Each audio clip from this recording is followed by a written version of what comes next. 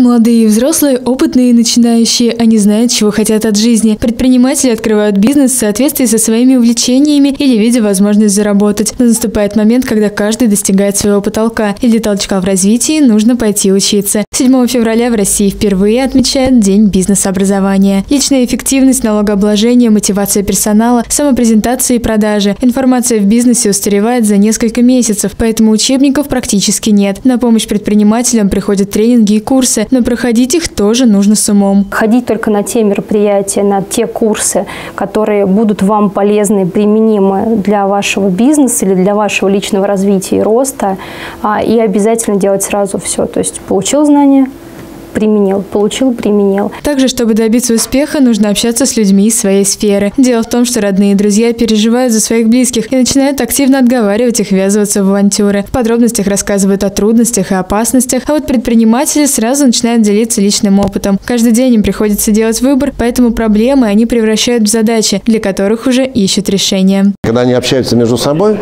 они видят пример успеха, они видят другое отношение. Это их морально очень поддерживает.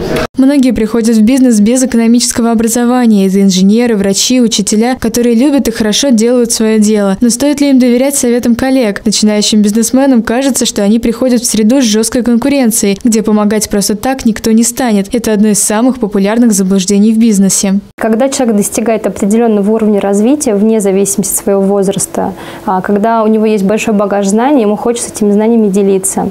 Если человек в своей сфере успешен, то ни о каких конкурентах говорить не стоит. Второе популярное заблуждение – это создание бизнеса ради зарабатывания денег. С таким подходом на рынке существовать сложно, ведь мы живем в эпоху, когда люди хотят качественного сервиса. Целью бизнеса является создание ценного конечного продукта, то есть того, что нужно людям, а, за что они готовы с удовольствием отдать деньги, с удовольствием. Если ты с ними общаешься как человек, который хочет для них помочь им что-то в жизни а, ценное создать, получить или жить лучше, а, это совсем другое отношение. Любовь клиентов и уважение коллег – вот к чему стоит стремиться. А для этого нужно всегда держать руку на пульсе нововведений. Чтобы получить больше знаний и навыков, рязанские предприниматели могут пройти бесплатный образовательный курс в школе молодежного предпринимательства. Набор в нее проходит два раза в год на конкурсной основе. Также в Ассоциации молодых предпринимателей регулярно организуют мастер-классы и тренинги по бизнес-темам. Действует система наставничества. Поэтому главное – это желание развиваться и улучшать жизнь региона. А подчеркнуть необходимые знания помогут в бизнес-сообществе.